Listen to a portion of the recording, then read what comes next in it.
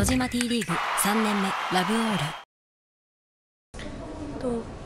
今日の試合はなんかすごいアドレナリンが出てて なんか寝不足だったからかな。すごいなんか試合に入り込めて結構久しぶりになんかいい試合したなって思いました。はい、えなんだろう。とりあえずあの、まあ、勝つのが仕事だからなんだろう。チームのあのスコアとかは今日は気にしないでできて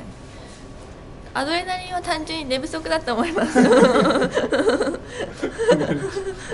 これからの全部の試合でいい試合できるように頑張るので応援よろしくお願いします。では今日のゲームをハイライトで振り返ります。第1マッチダブルスは木下は浜本と長崎。今シーズンここまで4勝0敗。日本ペイントマレッツは長尾とシンガポールのエースフォンテンウェイ今シーズン初めてペアを組んだダブルスでした。そうですね、えー、日本ペイントのペアですね。少しずつ状態が良くなってですね。ただ最後の9オールから長崎選手の縦回転のサービスサービスエース素晴らしかったですね。サービスの組み立てが良かったですね。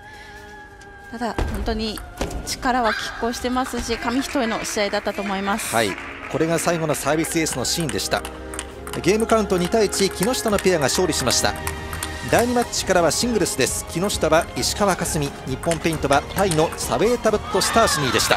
スターシニー選手の調子も良かったと思うんですね。バックでのブロックそして攻撃も良かったですけれども最後は石川選手のフォア前のサービス横上回転、横下回転を含めてですねサービスの組み立てが良くなってからですね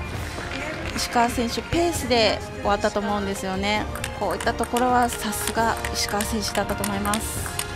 石川は今シーズン T リーグ6勝0敗となりました。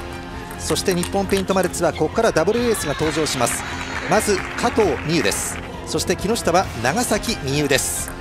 これも火花散ってましたね、はい、そうですね、えー、お互いにバックが強いだけにどこでフォアサイドに持っていくかというところあとレシーブ逆チキータチキータ含めてですけれども本当に意地と意地のぶつかり合いの試合だったと思いますが最後は加藤選手がですね少し緩急をつけてですね攻撃をしたところがですねはい良かったと思います。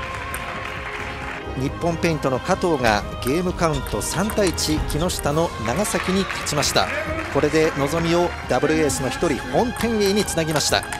木下は木原美優そして日本ペイントはフォンテンウェイでした。